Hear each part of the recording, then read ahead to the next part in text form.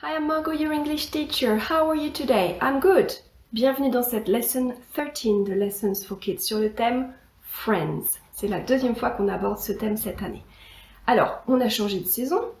Winter. J'avais oublié d'en parler l'autre fois. On a une nouvelle fiche pour les mois de l'année. December, January, February. Je t'invite à imprimer cette fiche, la décorer et la coller dans ton cahier d'anglais. On fait également une nouvelle chanson, a winter song, I'm a little snowman. Maintenant, la progression pédagogique de la semaine. On en est à la lettre M. M is for monkey and mouse. Monkey, mouse. En ce qui concerne les nombres, numbers, pour les enfants de 8 ans et moins, on va compter jusqu'à 13.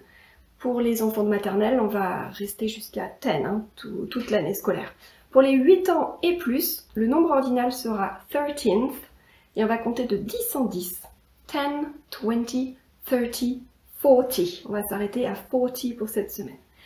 La couleur de la semaine, the color of the week is grey and the shape of the week, la forme is the semicircle, le demi-cercle. Voilà en ce qui concerne la progression pédagogique. Alors cette leçon fait suite à une première leçon sur ce thème de l'amitié euh, qui nous avait appris un certain nombre de choses. Alors pour les maternelles, dans cette première leçon Friends déjà faite, tu avais rencontré euh, tes petites copines américaines Bryce et Blake qui t'avaient fait une vidéo et tu, tu avais appris à te présenter à elles en vidéo, à présenter ta famille, à présenter tes animaux. Alors si ce n'est pas déjà fait, je t'invite à revoir cette leçon Friends et à participer au défi vidéo que je te lance.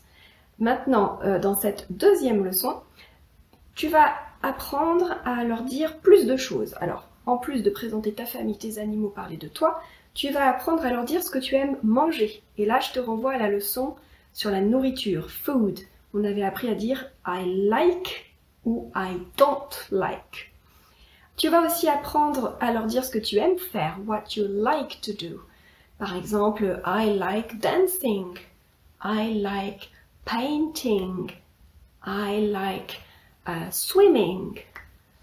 Voilà, alors avec les primaires, on va faire exactement la même trame, mais en plus d'apprendre à faire une petite vidéo de 30 secondes pour Bryce et Blake, on va aussi apprendre à écrire une lettre euh, à des anglophones, donc euh, à rédiger euh, tout ça, toute cette thématique sur exprimer ce qu'on aime manger et demander à l'autre quel est son plat préféré, par exemple, what's your favorite food?